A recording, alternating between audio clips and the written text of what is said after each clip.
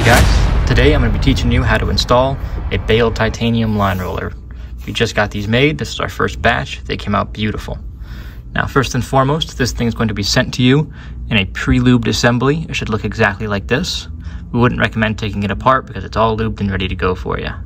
Now let's get into the actual process of installing this. First and foremost, you want to take your old rotor. This is just one I have for demonstration purposes. It is brand new.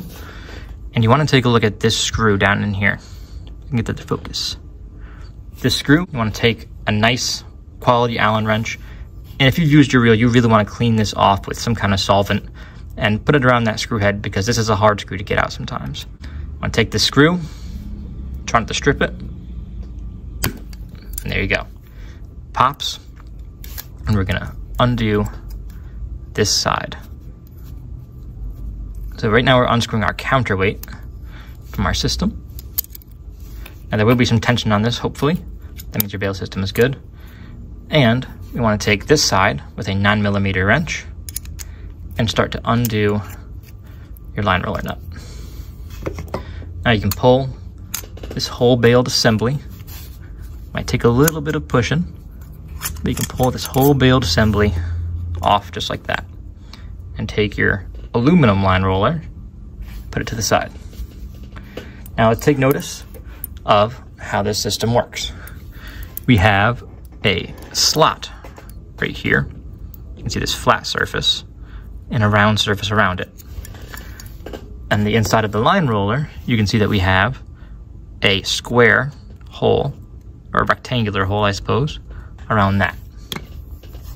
So, if you take a look at our line roller, you can see we have that flat side and the round, and then we have that rectangular side on this. You can see these flat sides here. So, let's take a look at how we actually put this together. What I would recommend doing is taking this and putting this right into there. See?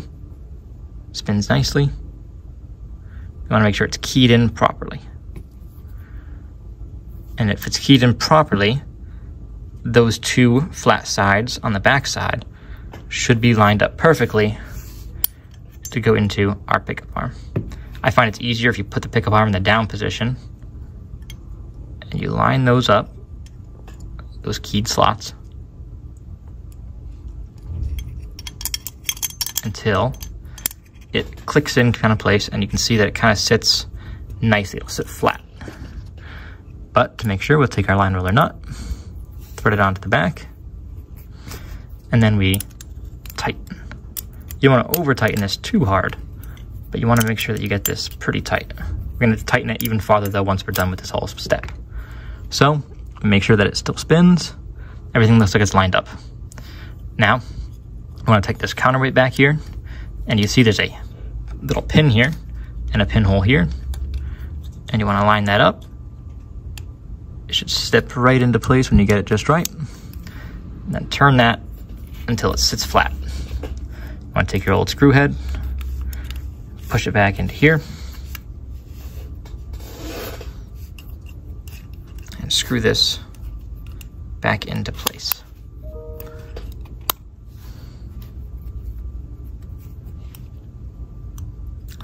You want to make this screw pretty tight. All right, now this counterweight's installed again. You can feel that this still works, but it should be a little loose. Because we haven't fully tightened this nut yet. So you want to continue to tighten this nut. And to assist you on the other side of this nut, you might notice there's a hex head. This is a really small 1 16th one that we use these days, but you might have to use a 7 64ths on your reel. Chances are this is the most common size we use. But you want to take that, you can put it in there, grab a 9 millimeter wrench, and you can tighten them up at the same time. And that makes it really nice and tight. Make sure your line roller still spins nice and free. Your bail system still works flawlessly. Beautiful. Now say you're working on your bail system, getting this installed, and before you even get there, the screw that you have to take out right here strips out. What should you do in that scenario? Well, we would recommend sending it to us. We have special tools to be able to get strip screws out, as well as the fact that we have a bunch of different methods that we know that we can get your bail system all put together for you. If you have any kind of issues, please don't hesitate to send it in to us. You can just send the rotor in to us instead of the whole reel if you feel. That's a lot cheaper on shipping, and we'll get it out to you very quickly.